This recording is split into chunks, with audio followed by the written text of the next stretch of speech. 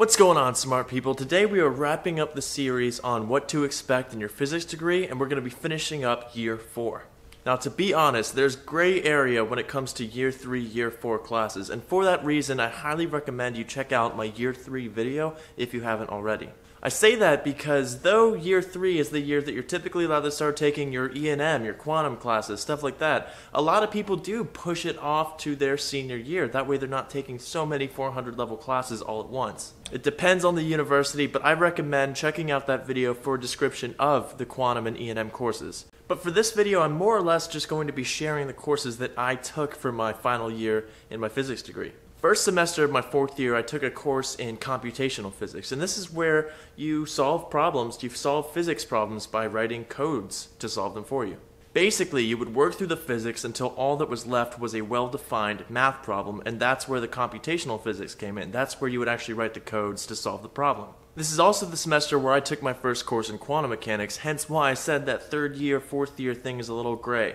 I know a lot of third years that took quantum their third year, and I know a lot of fourth years who took quantum their fourth year. Since I talked about it in the previous video, I'm not going to go in depth into quantum in this one, but basically the first semester of quantum was just solving the Schrodinger equation in one and three dimensions. But this semester is also where I took my 400 level elective, which is pretty common for universities, especially if you go to ODU. Now, one of the things about these 400 level electives is that they typically have a bunch of prerequisites. I took atomic physics, and the prereq for that was, you know, your quantum and all that good stuff. Granted, I took it at the same time as quantum, uh, so they had to waive, they had to override me into the course, which I don't recommend doing.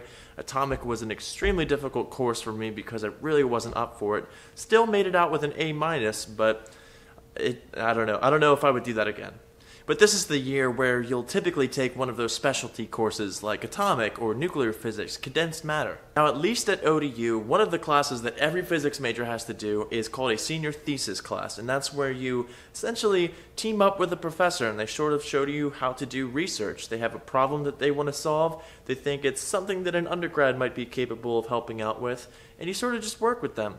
So I worked with my atomic physics professor, he was a theorist, but that was actually a year long course. At the end of the year, you present what you did, you write a 20 page paper, and then you don't really talk about it ever again. Usually these papers aren't published, it's really just to get you a feel for doing research if you don't do, say, an internship. Next semester, the next semester was actually kind of boring for me because I just took the second half of that quantum class and I just finished my senior thesis. However, other people that I knew were taking their thermodynamics in their second semester of E&M. I had just taken that a little bit early. Now, the rest of this video is really just going to pertain to you who are thinking about pursuing grad school. So, if you're going into your fourth year and then you're going to go straight into university, into university, into industry, then you're done with this video. I can't help you anymore. I know nothing about how to get into industry.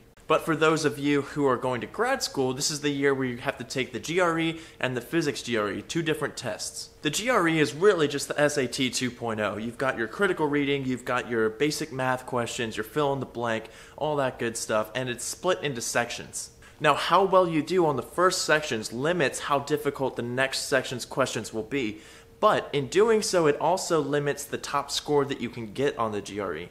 So if you're taking the GRE and then in the next sections you feel the questions getting a little bit easier, I don't think that's a good sign. If you want more information on that, just do a Google search on is the GRE adaptive and you'll find plenty of information. Moving on to the physics GRE, the physics GRE is a 100 question multiple choice standardized test that uh, sucks. I think on average it comes out to about two minutes per question, which is a huge culture shock once you first start studying for it. So get started right away.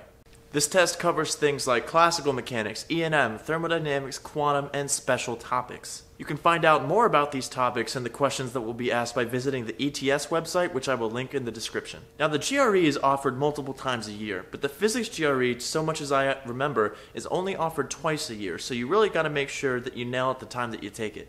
I believe last year the final physics GRE you could take was uh, right before Halloween, and right after that you have to start filling out your grad school applications.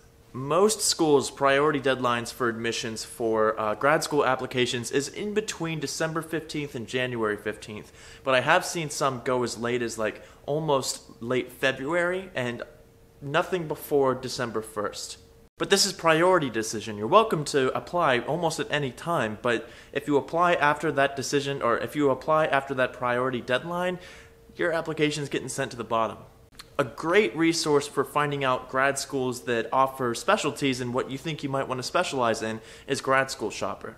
It's free to use, but it's not free for universities to be a part of. So just because you don't see a university on grad school shopper doesn't mean that they don't offer the specialty that you're looking for. It just might mean that they didn't want to pay to have their information stored in the website. It's also not always accurate. So if you find a school that says that they offer a specialty in one field, go to that school's website and double check it. Fact check it for yourself. But it is a great jumping off point, and uh, being able to speak with professors additionally who can recommend certain schools for what you're interested in, that'll help a lot. But that's going to do it for this video. In this video, we talked about these upper level physics classes. We talked about the GRE, physics GRE, grad school applications. It is a jam packed year, but try to have fun with it.